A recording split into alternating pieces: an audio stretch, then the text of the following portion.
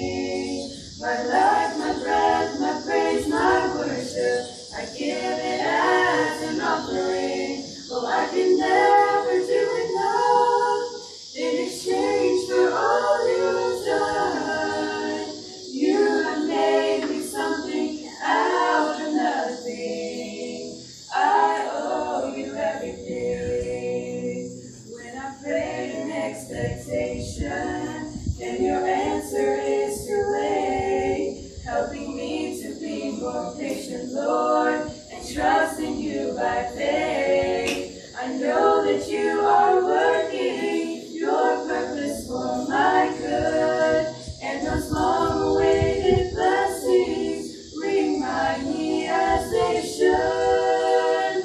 I owe you everything, I owe you all of me. My life, my breath, my praise, my worship, I give it.